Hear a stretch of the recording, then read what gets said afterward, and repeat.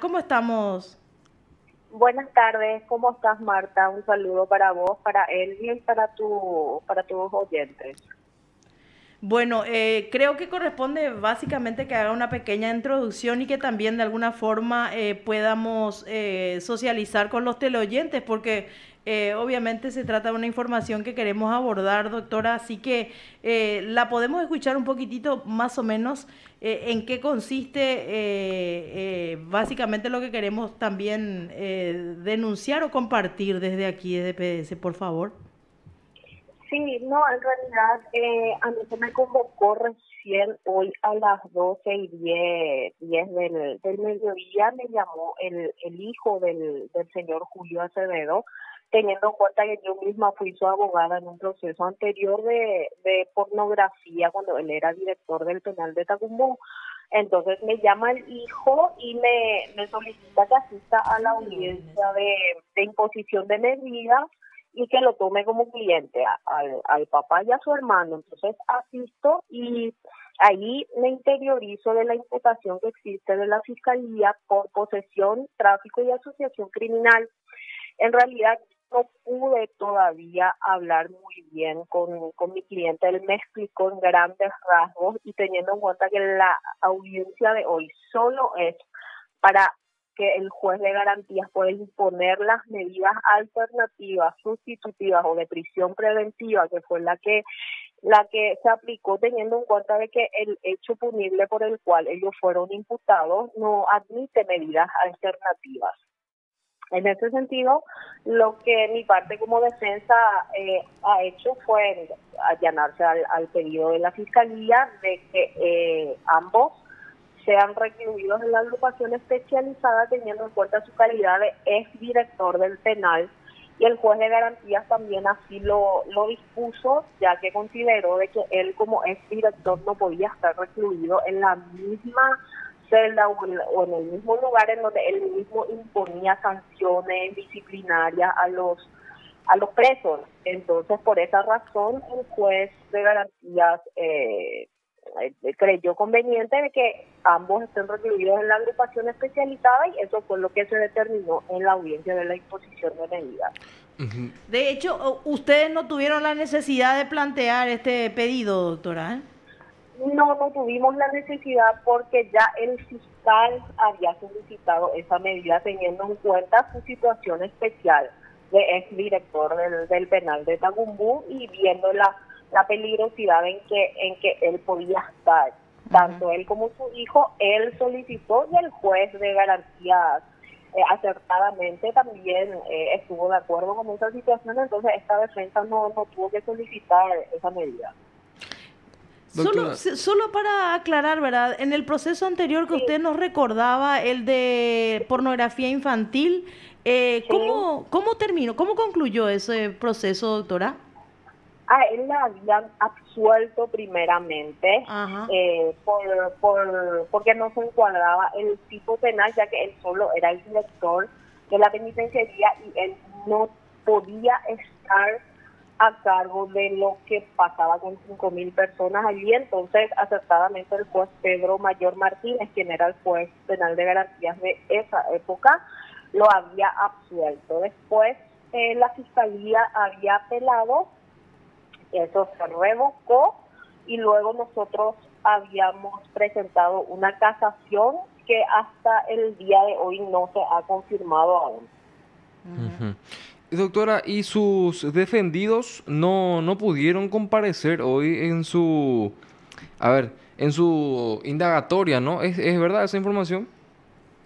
Mm, la verdad, este, te soy sincera, Elio, yo estaba en una cita médica a las 12 y allí recién me llaman a mí a decirme que tienen ellos una audiencia de imposición de medidas, porque yo en realidad, cuando el día de ayer me entero por, por las noticias, pensé que ellos habían contratado otro abogado porque nadie se había comunicado conmigo. Entonces ah, hoy en mi cita médica me llama otro de los hijos menores y me dice que que si por favor que me querían contratar ellos como abogada y si podría ir al palacio. Entonces yo fui y en minutos ya le trajeron de la Senat a ambos.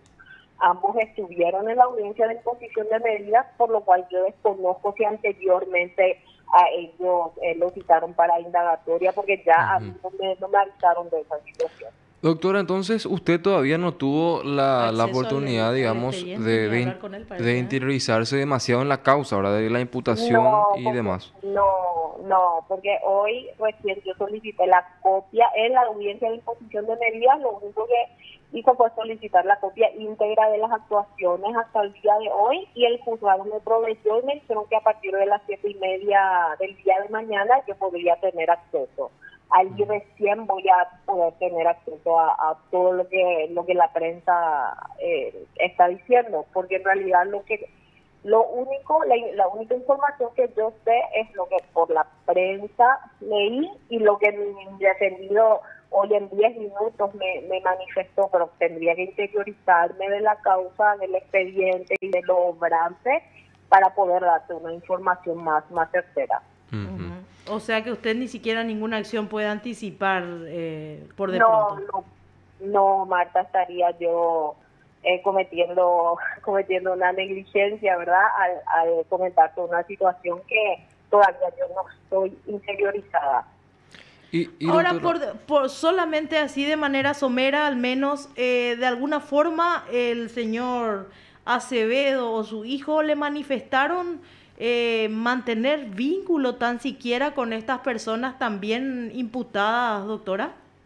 Bueno, te comento lo que ellos me manifestaron allí en la en la audiencia, en un receso mientras preparaban el acta. El señor Julio Padre me manifestó de que él era el encargado del taller de Valbuena, que es el, Fernando Valbuena.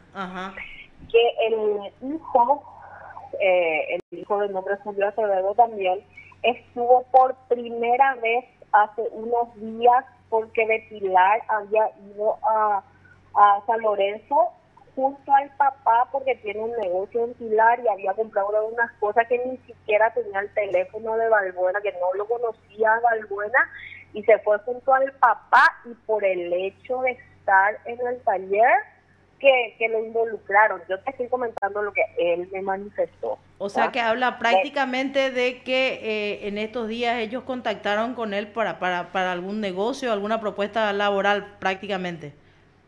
No, me dijo que de hecho que hace varios años que, que trabaja para Valbuena, administrándole el taller y por unos procesos también me ha dicho. Pero que no tiene absolutamente nada, ninguna vinculación con, con este proceso en sí, es lo que él me, me manifestó. Entonces, quedamos en que yo primero me iba a interiorizar de, la carpeta fiscal y del expediente y que luego volveríamos a hablar.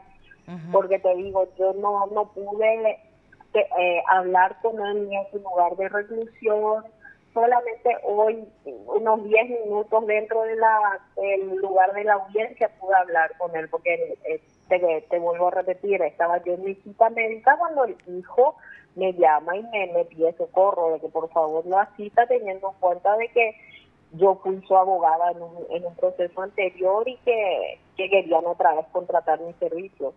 Y bueno, y considerando esta situación, doctora, de hecho, eh, ¿sabe usted si él ya actualmente reside en, en, en, en la zona de Ñebucú o, o fue una, un viaje casual el que realizaron al, al lugar? o me comentó que Julito Acevedo, que es el hijo de Julio Acevedo, reside en Pilar que justamente el hijo vino para comprar mercaderías para su negocio. Me dijo que Julito sí tiene un negocio en Pilar y recibe Pilar.